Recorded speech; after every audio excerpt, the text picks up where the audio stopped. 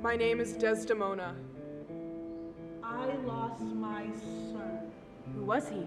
A brave commander named Othello. Oh no. Not he who murdered my daughter. Desdemona. Yes, Are we enemies then? of course. Emilia, I wonder if I ever see you again. Did you imagine me as a wisp of a girl? A coddled doll who fell in love with the warrior who rode off with her under his arm? Is it your final summation of me that I was a foolish naive who surrendered to her husband's brutality because she had no choice? Nothing could be more false. You were my best friend. I was your slave. What does that matter? I have known and loved you all my life. I am black